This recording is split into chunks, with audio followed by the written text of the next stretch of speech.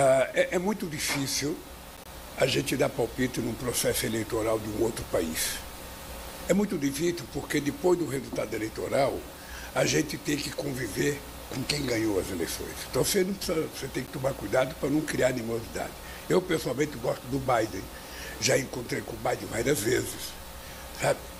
Ah, ah, eu acho que o Biden ele tá, ele, ele tem um problema, sabe? Que ele está tá andando mais lentamente, ele está demorando mais para responder as coisas, possivelmente esteja pensando. Mas quem sabe da condição do Biden é o Biden.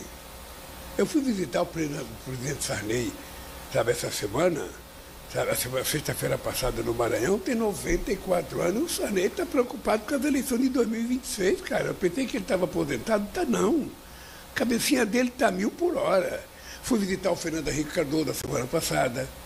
Está com 93 anos, também a cabeça está boa, falando mais lentamente por causa da idade.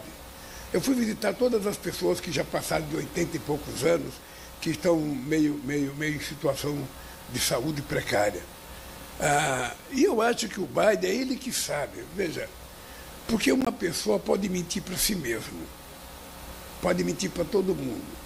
Mas ele não pode mentir a vida inteira para ele mesmo. Então, o Biden é que tem que avaliar. Se ele está bem, ele é candidato, tudo bem, ele acha que está em condições, ótimo.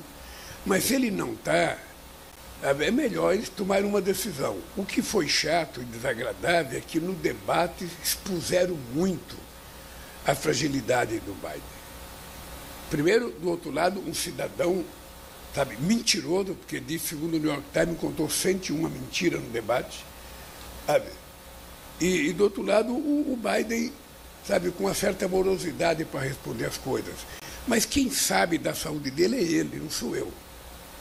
Então, eu acho que tem que ser levado muito em conta, porque as eleições nos Estados Unidos ela é muito importante para o resto do mundo. Não é para os Estados Unidos, é para o resto do mundo.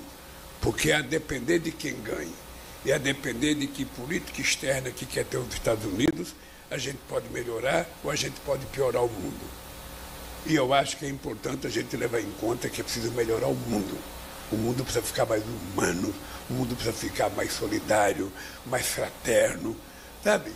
Mais, mais, mais humanista, na verdade é essa. As pessoas estão muito raivosas, as pessoas estão muito, muito irritadas.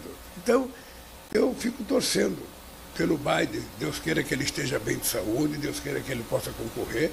Senão o Partido Democrata pode indicar outra pessoa. Aqui eu estava preso. Eu, eu, eu indiquei o Haddad, faltava poucos meses para a campanha. E o Haddad teve uma boa participação na campanha, pelo curto prazo que ele participou.